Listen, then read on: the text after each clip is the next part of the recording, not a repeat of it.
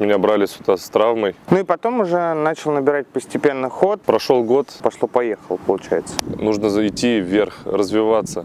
Сейчас э, ты чувствуешь, э, что ситуация изменилась? Вижу и знаю, что ситуация изменилась.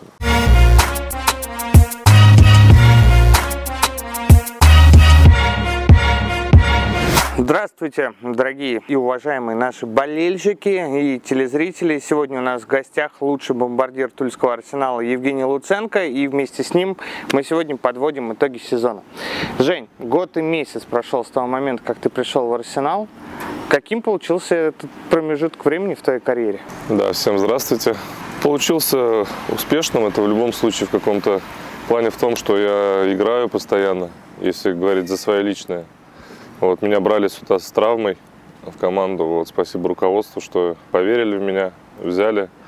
Восстанавливался время, потом набрал форму, уже более-менее начал играть э, в свой футбол. Что касается команды, то в любом случае, то он получился, наверное, на 4 с минусом, потому что как минимум должны были тоже достижения, что и в том году э, шестое место завоевывать. Причем были планы, если не вот этот весенний отрезок в 5 матчей поражений, который мы провалили, мы бы заняли свое шестое место. Поговорить о твоей травме хочется. Именно она же ведь не дала тебе, по сути, начать с места в карьер, можно сказать. Потому что и сборы были так немножко смазаны, и подготовка к Лиге Европы. Да, это было, все сборы были пропущены, была сделана повторная операция на сборах, вторая. И провел около трех тренировок, четырех в Туле, и сразу вышел на, на замену в Лиге Европы. Был не подготовлен вообще к этому, но так как тренер выпустил, значит, считал, что я могу принести пользу. Ну и потом уже начал набирать постепенно ход, э, и матч с Тамбовым, наверное, тоже такой знаковый для тебя, да? Пошло-поехало, получается. Ну, в любом случае, этот мяч принес победу команде и на выезде выиграли после вот такого обрыва в Лиге Европы. Потому что эмоционально ребята были опустошены, они к этому шли, считай, весь тот сезон. И было важно именно победить и хоть как-то немножко эмоционально поднять фон в команде, потому что после таких матчей обычно уходят надолго в безвыигрышную или там ничейную серию. В этом сезоне Арсенал немножко так, э, ну, выражаясь э, там, обычным языком, колбасит. Потому что была серия и осенью не очень удачная. Здесь вот вы как э, в коллективе пытались э, вернуться, так скажем, на правильные направления? Что касается весеннего отрезка вот этого, то уже были, да, критические моменты в команде. Вот. И на повышенных разговаривали, где-то собирались отдельно коллективом на базе поговорить. Руководство с нами часто разговаривало, тренеры. Вот. Ну, как показывает практика, э, эти разговоры привели к тому, что это все только и за- затягивалось наше поражение. Потом приняли решение, что Черевченко уйдет с поста. И был эмоциональный вот подъем какой-то у команды, как и всегда бывает. Э, Любого тренера, когда убирает, приходит другой, начинается у команды совсем другая жизнь. Эти решения были неизбежны, вот, потому что так должно, не должно продолжаться пять поражений подряд. Но вам перезагрузка пошла на пользу. Ну, по сути. Конечно, и даже результат даже не игровой, а очковый. Это показатель. Вот из 12 возможных взяли 9 в такой важный момент, где в конце сезона уже начинается совсем другая игра, где все бьются за очки сильнее. Нам это очень сильно помогло, и мы, считаю, достойно вылезли из этой тяжелой ситуации, в которой, в принципе, не должны бы быть. Понятно. Весной мы сейчас видим, да, как все это происходило. А осенью что произошло с командой? После поражения от ЦСКА, потом там было 7 матчей без побед. Осенью было, поехали на выезд с Спартаком, вот как в футболе говорят, нежданчики, где ждали очки дома, мы не брали. Поехали на выезд и обыграли Спартак 1-0. После этого эмоции команду пришли и провели хорошую осень. Казалось, что перед этой игрой с Спартаком э, Арсеналу всегда чуть не хватает чего-то. Где-то замкнуть мы не смогли в нескольких моментах, да, там в матче равных команд. Арсеналу за счет чего э, удается выигрывать именно у грандов? Но первое, то, что приходит это на ум, это то, что когда мы играем с грандами, мы все равно не играем первым номером. Мы хорошо выбегаем в контратаке, у нас быстрые игроки. Когда мы садимся в оборону и большую часть матча можем обороняться, то мы хорошо выбегаем в контратаке и реализовываем это. А то, что касается, когда играем себе подобными командами, такими средними, которыми не борются за первое, второе место, то тут уже идет совсем другое. Мы начинаем мяч под себя брать, контролируем его, ведем ход игры, не реализовываем моменты, а на контратаках мы пропускаем мячи. Сейчас себе подобных команд, наверное, штук 9, а остальные 5 посильнее. Да, что есть первая пятерка, которая более-менее как-то выраженно оторвалась, а остальные все два очка до зоны, два очка до еврозоны и непонятно. Вообще, в целом, а, игры против Спартака, Локомотива, Краснодара на финише того года, они получились, ну, понятно, есть те, которые мы выиграли, есть те, которые проиграли. С Краснодаром и Зенитом матч обидно, наверное, было проигрывать? Ну, с Краснодаром я участвовал в игре, а с Зенитом смотрел с трибуны, с Краснодаром было точно обидно, потому что там не так, как вообще запланировал, все произошло. Вот. А с «Зенитом» э, я смотрел уже с трибуны, но там все равно, чтобы такие матчи выигрывать, надо больше агрессии делать, потому что там не получится «Зенит» обыграть так э, на удачу или еще как-нибудь. В таких матчах нужно больше прилагать усилия, чтобы выигрывать даже дома «Зенит». С какими мыслями входили в чемпионат после весны? Все-таки непростая игра с Сочи, э, и вообще календарь такой, ну, довольно-таки сложный был. Ну, в тот момент там было то, что простой был, мы сколько, три месяца, там уже без разницы было, какой календарь, быстрее бы вернуться на поле, играть, хотя бы простой обычной жизни вернуться. То, что весна была, я думал, что она пройдет легче для нас. Я не думал, что будет такой отрезок у нас в пять матчей. Я на это вообще никак не рассчитывал и думал, что мы пройдем ровно в весну спокойно, без всякого мандража, без нервов. Игра с Сочи получилась такой особенной, наверное, для тебя. Во-первых, сделал дубль, во-вторых, такой гол забил на последних минутах. Если вспоминать эту игру, пошел бы еще бы 10 раз так же в отбор? А там все очень просто было. Передача шла уже безадресная, можно сказать. И так как народу было много, ой, мало на стадионе, и слышимость была хорошая. И защитник Калугин, которого я хорошо знаю, сказал «ты-ты-ты» на вратаря. А вратарь говорит «ты-ты-ты». И, вот. и я знал, что уже что-то получится сейчас, потому что они не разобрались. Друг на друга понадеялись, я шел до конца. Хорошо, что первым касанием себе подработал нормально и пробил уже. Эти три матча Оренбург, Рубин, Сочи.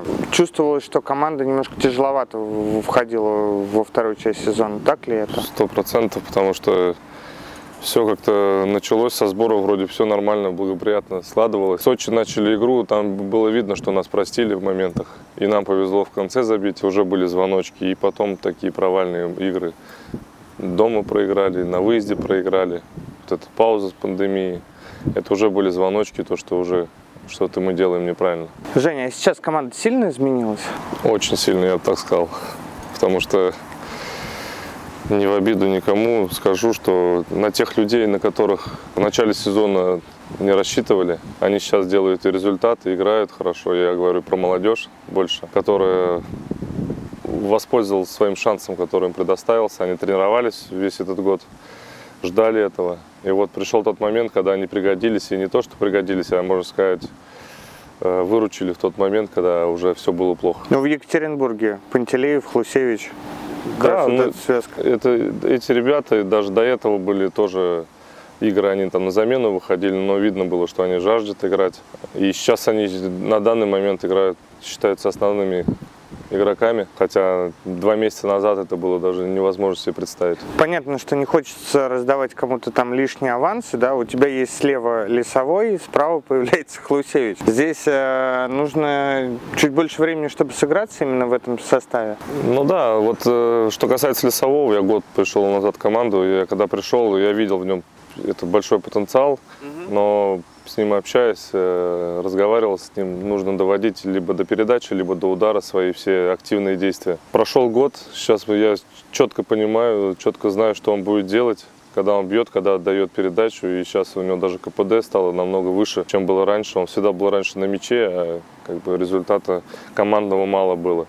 А сейчас он делает передачи, третий пас у него хороший, вскрывает фланги, обыгрывает. Что касается Флусевича, он немного другого типа. Но если, как показывает практика, ему доверять, он будет играть, у него все есть для этого. Ну, тебе теперь очень хорошо лесовой остается, еще на год, и теперь подносчик снарядов продолжает оставаться в команде. Да, это сто процентов. Тут даже не про авансы идет речь. Здесь на самом деле факт, то, что лесовой это один из лидеров вообще именно по футбольным моментам. Это наш лидер, можно сказать, без которого атаки корне бы даже не развивались, где он уходит, обыгрывает людей. Все атаки, можно сказать, идут через него. Так что это очень важный игрок для нас. Мы после э, вылета из Лиги Европы получили очень много негатива э, и от э, средств массовой информации, и от болельщиков тоже, причем от сторонних даже в большей степени болельщиков. Отвечая на вопрос им, зачем нужна Лига Европы Арсеналу? Считаю глупый очень вопрос, если так люди спрашивают. Зачем нужна Арсенал Лига Европы? Затем, чтобы сыграть квалификацию, выйти в группу, и чтобы все, все знали об этом городе, об этой команде. Тем более все это возможно, все это реально. Просто в тот момент, когда мы туда попали, как минимум были не готовы к этому. Ушли э, все атакующие игроки. И команда была просто, можно сказать, собрана по частям. Ну, да, была ползащита, да, защита. Но главное то, что движило команды в том сезоне, это атака. Все поменяли, трех игроков самых важных. Пришли мы, которые не сыграны и не все в своих лучших кондициях. Нужна ли Лига Европы? Я думаю, я ответил на этот вопрос, для чего команде. В чем секрет, как забивать в каждом матче весны? Вернее, не весны, а лето даже уже. Особо секрета нету. Это все зависит, во-первых, от внутри вот то, что команда творится, и от партнеров многое зависит. То, что они обостряются. Тот футбол, который очень важен центр форварда, он здесь есть в Туле. Это доказывали не только я, и до меня нападающие приходили, доказывали. Здесь много есть фланговых передач, много прострелов много играют нападающего центрального. Брать другие клубы, там у меня были, я сталкивался с футбольными проблемами, здесь я с ними не сталкиваюсь. Ну вот кажется, ты когда вот рассказываешь об этом, ты как-то немножко себя как-то умоляешь свои действия. Ведь э, форварду такого плана, как ты, довольно-таки сложно, потому что это постоянная борьба, постоянно надо искать зоны. Вот здесь ты за счет чего прибавил, как на твой взгляд? Или за счет все-таки внутренней атмосферы вот этого игры именно футбольной?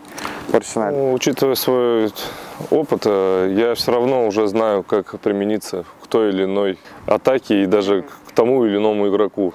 Потому что я уже понимаю, кто что будет делать. И плюс все равно могу отметить эту удачу. Она, мяч летит мне в голову, мяч летит в ту зону, куда я бегу, например. Бывают какие-то удачные моменты там, в единоборствах.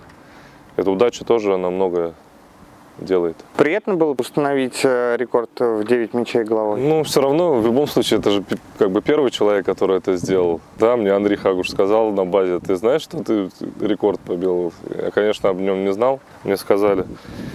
Да, и самое интересное, почему-то для себя поставил цель забить десятый мяч головой в следующей игре. Именно головой 10 за сезон, это, считаю, вот это круглая дата. Ну и при этом, при всем, а, в Арсенале в премьер-лиге еще никто не отметился хитриком. И у тебя есть э, еще матч впереди, где можно это сделать. Хочется догнать Дзюбу? Там не только Дзюбу получается, там и Азмуна уже надо догонять. Выйду на Суфой, как последний раз, буду все делать для того, чтобы забивать.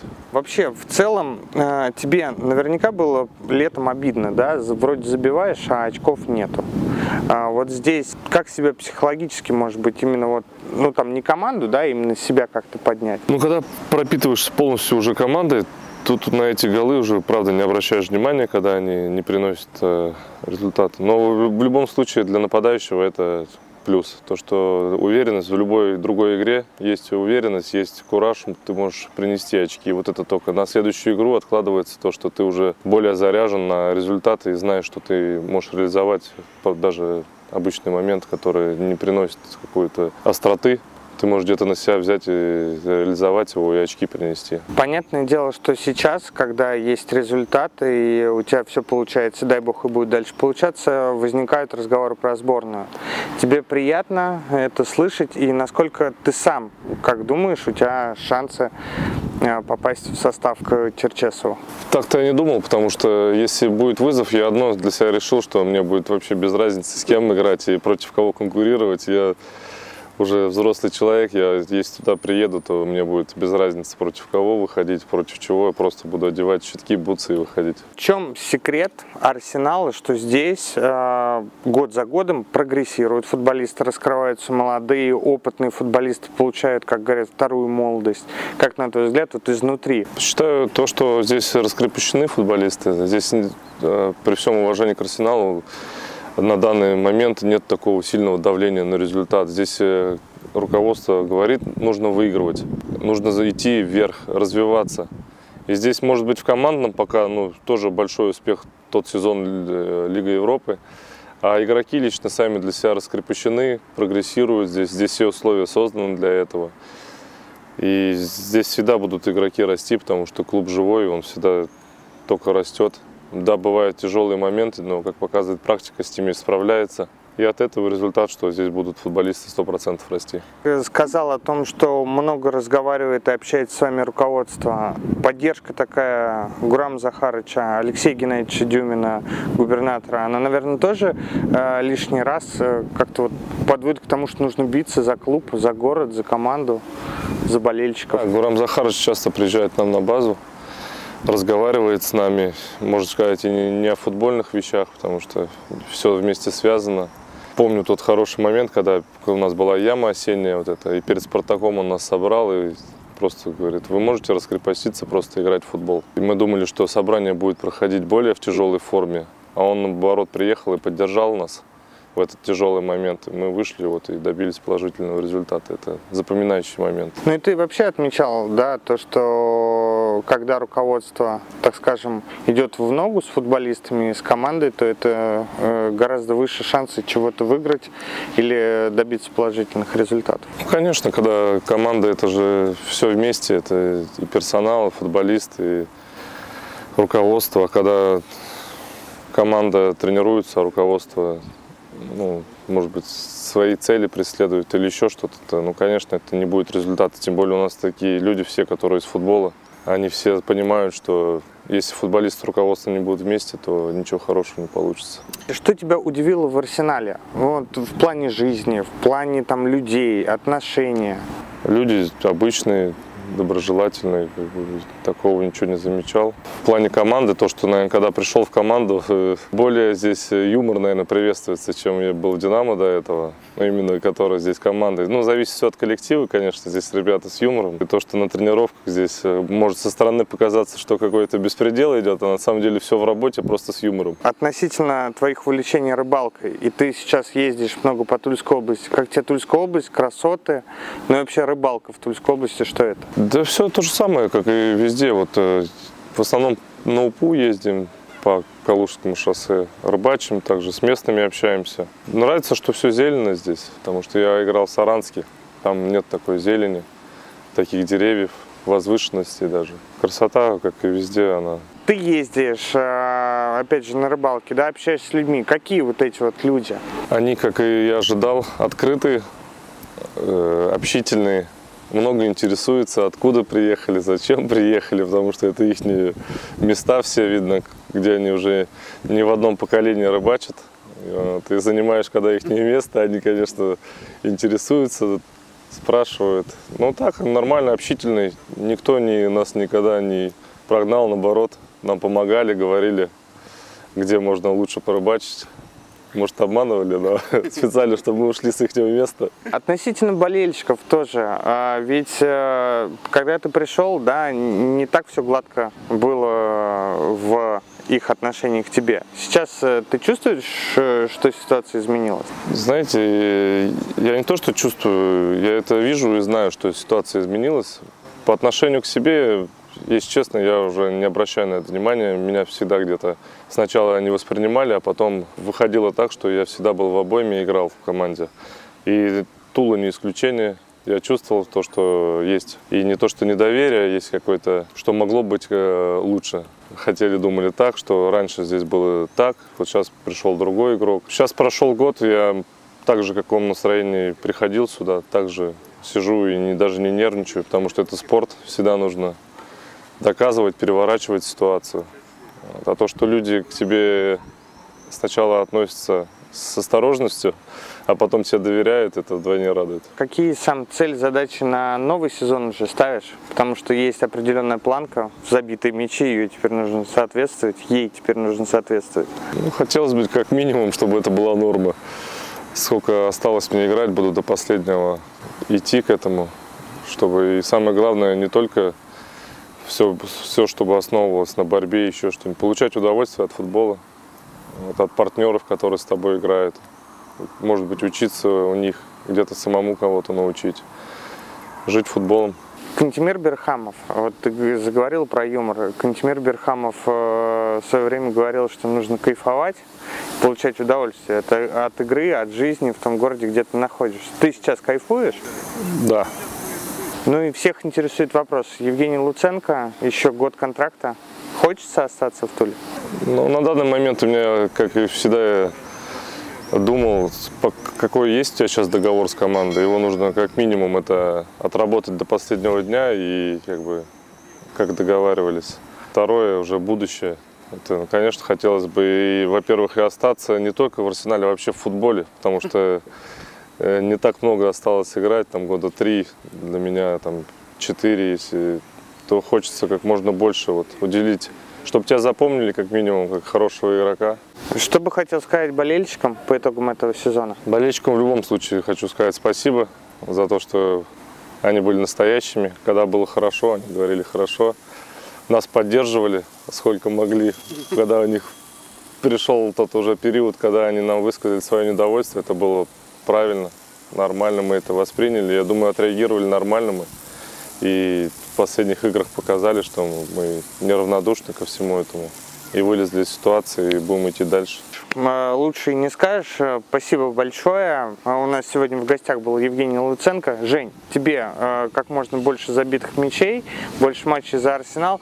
Ну и всем нам титулов, побед и хорошего настроения. Спасибо, Жень.